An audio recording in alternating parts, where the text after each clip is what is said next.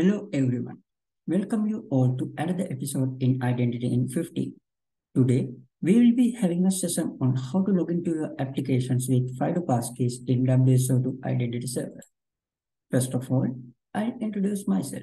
I am Tamidu Jayakrama, a software engineer at WSO2 Identity and Access Management team.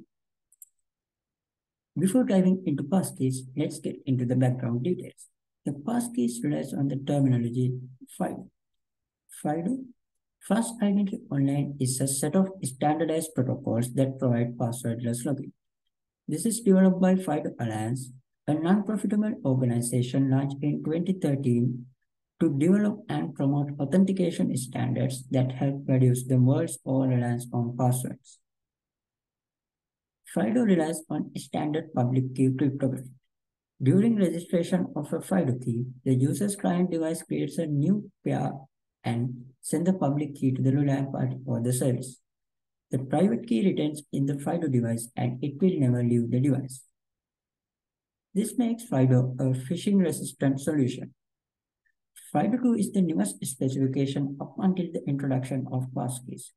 It is a combination of W3C's WebAuthn specification and FIDO Alliance Client Authenticator Protocol. FIDO2 enables users to leverage common devices to easily authenticate to online services in both mobile and desktop environments. When it comes to the problems with traditional FIDO, the first problem with traditional FIDO is the cost. You need to purchase a separate device and generally you need at least two of them to keep one as a backup option. The second one is you need a roaming authenticator to securely bootstrap uh, platform authenticators. Here, the roaming authenticators are external FIDO devices, whereas platform authenticators are like built into the platform, like device fingerprints. Consumers generally have less interest to buy a separate device for the authentication. And traditional FIDO are unable to survive device loss or device changes. And the consumers are not much aware of the details of FIDO2 and WebAuthn protocols. So we are looking for a replacement for passwords and that should be easy to use as a password, easy to recognize and understand, leverage on existing investments. It should be durable across device loss and it should work at a global scale. Here comes passkeys. Passkeys is a phishing-resistant password replacement FIDO credential that is usable across all of your devices, which require user verification and can survive device loss. As I explained earlier, FIDO is provided on top of the FIDO terminology. The user experience is inspired from Password Manager UX. FIDO Passkeys has four common properties. The first one is the syncing property or the backup. Passkeys are synced to your signed in Google account or Apple iCloud keychain. Then, some platforms support sharing of passkeys. Apple allows sharing passkeys to a different Apple device using AirDrop. When sharing, the entire passkey credential is shared, including the user ID. Once shared, the credential will be moved to the new device using their biometrics. The new device or the user can use and reshare it completely independent from the original user. Third property is the cross-device. Using a QR code, you can gain access to a device that doesn't support passkeys using a device that has passkey support. Fourth property is the discoverable property, in which passkeys contain metadata that allows your system to detect and present passkeys to you. Even if you don't know that you had passkeys, the system can detect and present them to you. Passkeys uses Bluetooth and QR technologies but it's not used for the authentication. Bluetooth is used to confirm the physical proximity, but the actual FIDO assertion is not shared over Bluetooth. The passkey flow works pretty much same as typical FIDO flow when signing with the same device. The reliant party or the server generates a challenge and send it to the FIDO device. FIDO device performs user verification and generate a public-private key pair. The private key pair is securely stored on the FIDO device and the related public key is shared along with the registration response to the Reliant party. Reliant party then stores the public key. In authentication, the Reliant party sends the challenge back to the FIDO, sends a challenge back to the FIDO device, and the FIDO device performs user verifications and unlock the private key.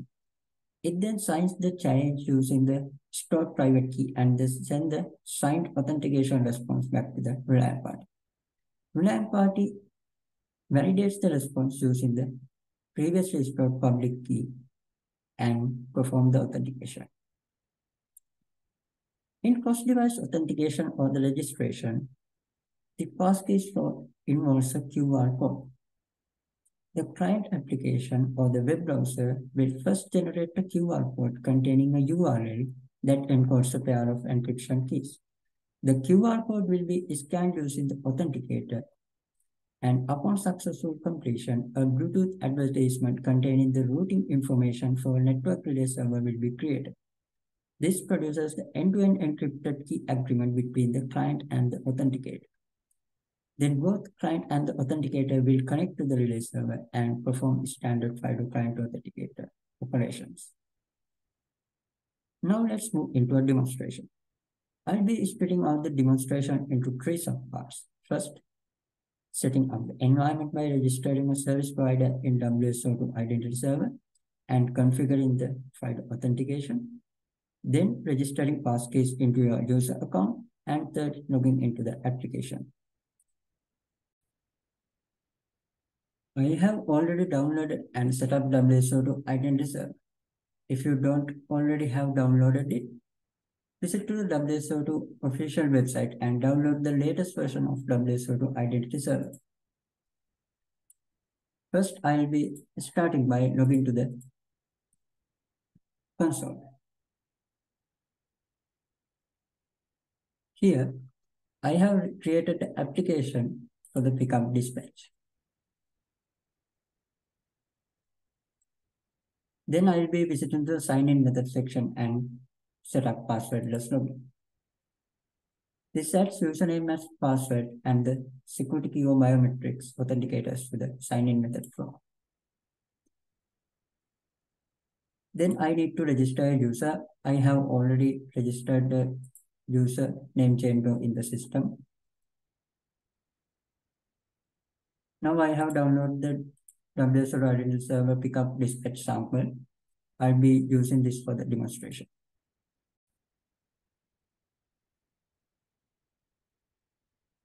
First of all, I need to log into the My account of the user to register passkey.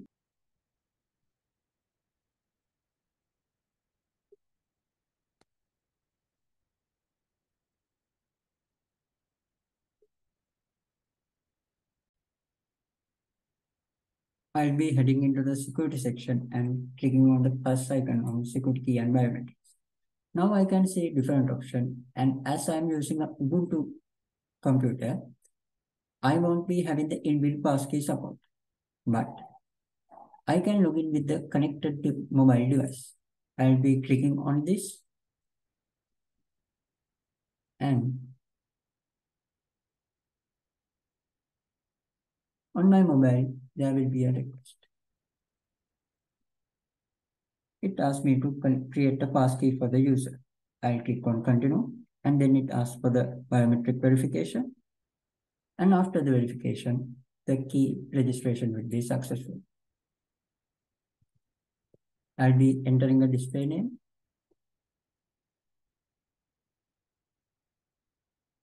Then I'll be logging to the pickup dispatch application.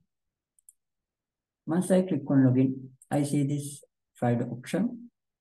And I, since I have already registered a passkey on my connected device, I will be clicking on it.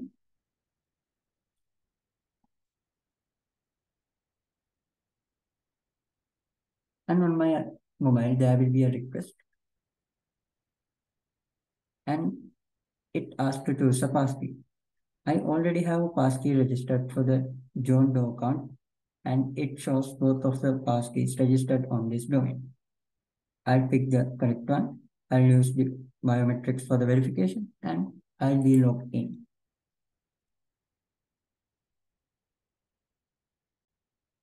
And since now I have registered, uh, I have connected my mobile device. I had that uh, device picking option, but let's say I don't have a connected device and I am logging with the uh, laptop which doesn't support passkeys. Once I click on sign in option, I have this uh, different device option which shows the QR code.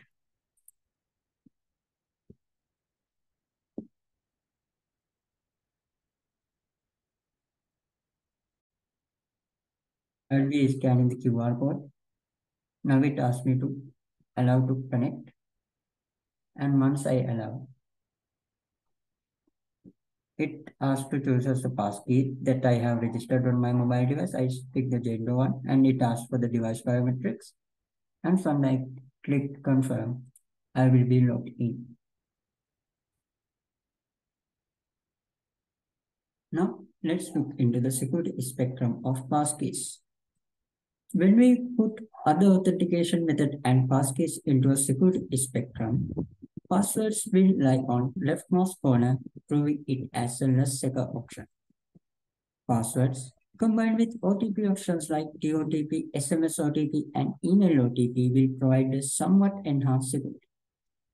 Single device passkeys or the normal FIDO lies on the rightmost corner, providing a higher level of security. Multi-device passkeys or the passkeys that can sync and share between devices lie somewhat middle in the spectrum. However, the level of security of passkeys can be enhanced by combining it with DPK.